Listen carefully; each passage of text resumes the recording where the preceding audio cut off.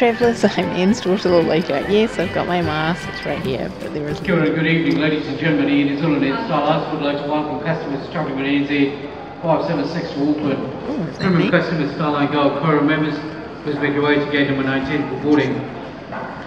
Okay, so I thought I had more time. So much for I'm going to make a packing video. I'm going to Auckland and then on to Shanghai. Please consider subscribing as I post new videos every week giving tips and strategies that may help enhance your travel experiences. First tip, bring a refillable water bottle. I roll this up into nothing. It does hold 700 mils. Link in the description box below. Okay, better get boarding. Here is all flight NZ 576 to Auckland, invite all passengers to board your aircraft through gate number 19, thank you.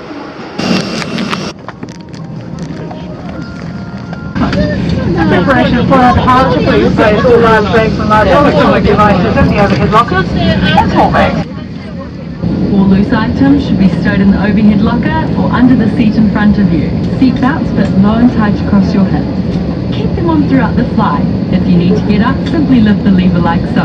If the seatbelt sign lights up, return to your seat and buckle up. If an emergency were to happen during takeoff or landing, If you need air, oxygen masks will fall from above. If you're wearing a personal face mask or face covering, remove it before fitting your oxygen mask. if we need to evacuate the aircraft, emergency escape path lighting will show you the way to the exit. Look up, your crew are now pointing out your exits. They could be behind you. Count the rows to your nearest exit. If we do need to evacuate, leave your bags behind. Wi-Fi is not available on this aircraft.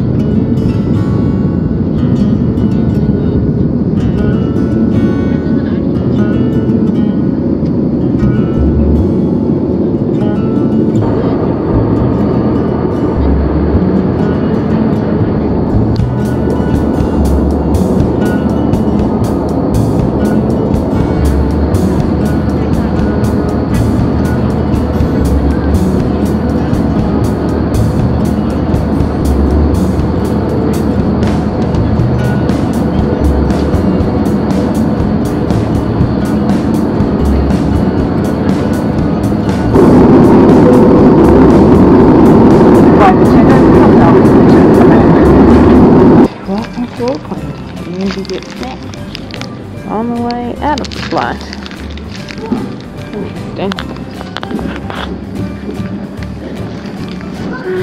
Right, way out.